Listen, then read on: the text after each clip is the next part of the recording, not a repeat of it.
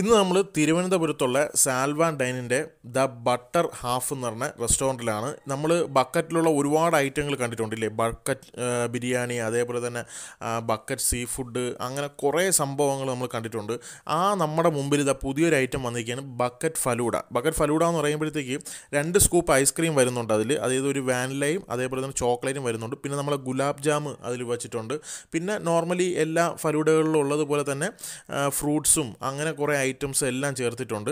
ഇതിന്റെ പ്രൈസ് എന്ന് പറയുന്നത് ഇരുന്നൂറ്റി ഇരുപത് രൂപയാണ് ഇതിന്റെ വില വരുന്നത്. ഇത് രണ്ട് പേർക്ക് കഴിക്കാമെന്ന് ചോദിച്ചു കഴിഞ്ഞാൽ രണ്ട് പേർക്ക് കഴിക്കാൻ പറ്റുന്ന ഒരു ക്വാണ്ടിറ്റി ഉണ്ട്. പക്ഷേ ബക്കറ്റ് എന്ന് പറയുമ്പോൾ നിങ്ങൾ ഒരുപാട് വലിയ ബക്കറ്റ് ഒന്നും പ്രതീക്ഷിച്ച പോലെ ചെറിയൊരു സംഭവമാണ്. നിങ്ങളും ട്രൈ ചെയ്ത് നോക്കുക. Get the sense bye